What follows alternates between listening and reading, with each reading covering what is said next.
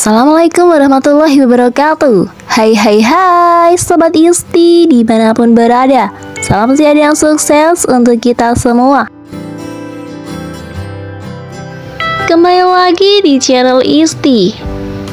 Sahabat, cukup dua bahan sederhana Sahabat sudah bisa mempercepat proses pembuahan pada segala jenis tanaman kita Nah, kita akan membuat pupuk perangsang bunga dan juga buah tanpa harus membeli pupuk MKP ataupun pupuk yang lainnya. Sedangkan harga pupuk yang semakin mahal, tapi di video kali ini akan sangat bermanfaat sekali bagi sahabat. Oke sahabat, langsung saja untuk mengetahui bahan apa yang akan saya gunakan dan bagaimana cara membuatnya. Tonton video sampai akhir ya, jangan di skip supaya tidak gagal paham. Dan bagi sahabat Isti yang telah menonton video ini jangan lupa sedekah ya sahabat. Sedekahnya dengan cara like dan subscribe. Karena sedekah adalah ladang amal buat kita semua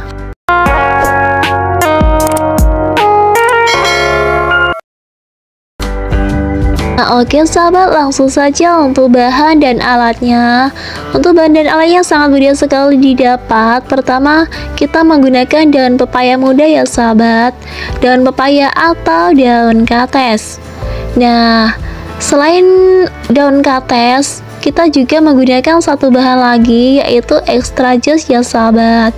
Nah di dalam extra jus ini vitamin ini ya mempercepat laju kematangan dalam buah. Oke, selanjutnya kita menggunakan air bersih ya sahabat yang nantinya untuk melarutkan.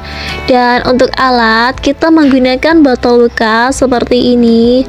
Selain botol bekas, kita juga menggunakan alat tumbuk ya sahabat. Tapi jika sahabat punya blender itu akan lebih bagus ya sahabat. Sahabat tidak akan repot-repot lagi dalam menumbuk.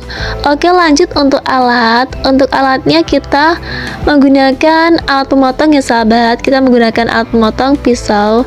Dan selain alat pemotong kita juga menggunakan ember. Ember yang nantinya untuk wadah. Jika sahabat tidak punya ember bisa digantikan dengan wadah yang lain. Dan selain ember juga menggunakan sendok makan yang nantinya untuk mengaduk dan menakar. Selain sendok makan kita juga menggunakan kain bekas yang nantinya untuk menyaring ya sahabat. Dan alat terakhir kita menggunakan torong Oke sahabat langsung saja kita eksekusi untuk cara membuatnya. Pertama kita siapkan daun pepaya atau daun katel sebanyak satu genggam ya sahabat. Kemudian kita potong kecil-kecil.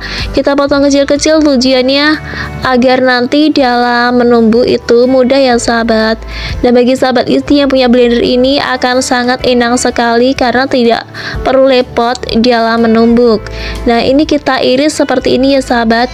Dan jika sudah kita tumbuk kita tumbuk daun pepaya ini hingga halus. Ternyata manfaat daun kekates daun kates huh? ini untuk tanaman sangat bagus sekali ya sangat banyak sekali. Selain sebagai pupuk dia juga sebagai pestisida nabati.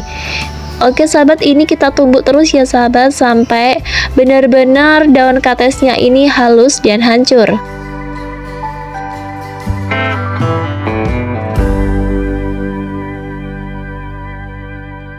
Nah, seperti ini ya sahabat untuk penampakan daun kates yang sudah kita haluskan. Selanjutnya kita masukkan ke dalam wadah ember.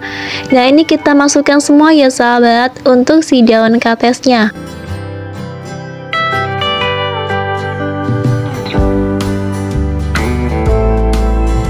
Nah, seperti ini sahabat untuk hasilnya. Selanjutnya kita masukkan air bersih ya sahabat. Ya, untuk air bersihnya kita membutuhkan 2 liter. Dan jika sudah selanjutnya kita aduk hingga bahan tadi tercampur dengan merata.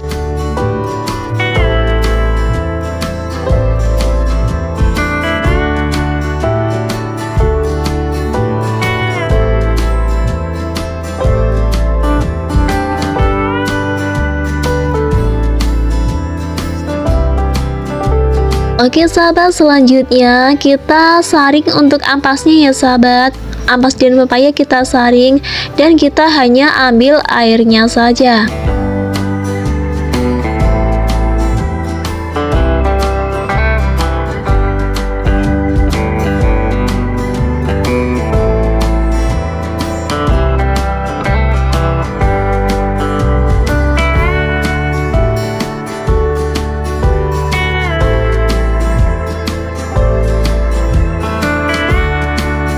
Oke sahabat seperti ini untuk penampakannya. Selanjutnya kita masukkan extra jos. Dan untuk extra josnya kita hanya membutuhkan satu bungkus ya sahabat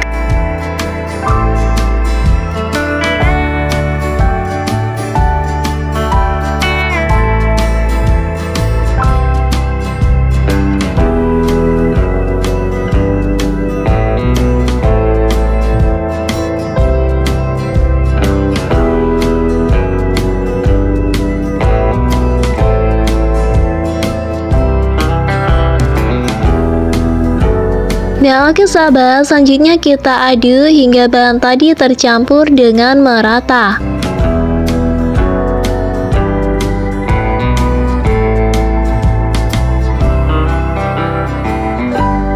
Nah seperti ini ya sahabat untuk hasilnya. Selanjutnya kita masukkan untuk cairan ini dalam botol bekas ya sahabat. Dan harus kita diamkan dulu selama 24 jam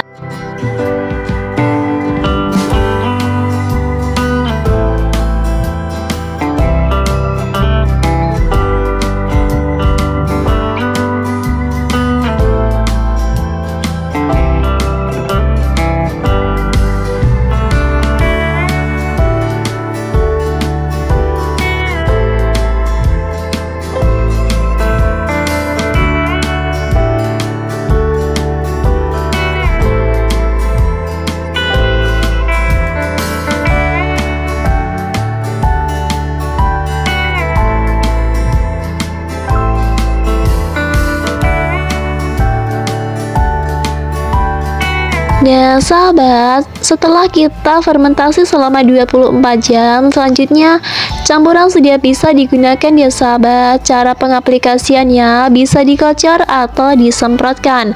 Jika untuk penyemprotan, gunakan air bersih dengan perbandingan 200 ml banding 16 liter.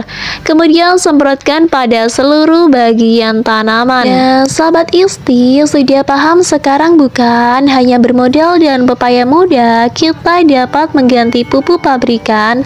Semoga bermanfaat ya sahabat. Untuk video sampai di sini ya. Semoga kita bisa berjumpa di lain kesempatan. Kami akhiri wassalamualaikum warahmatullahi wabarakatuh.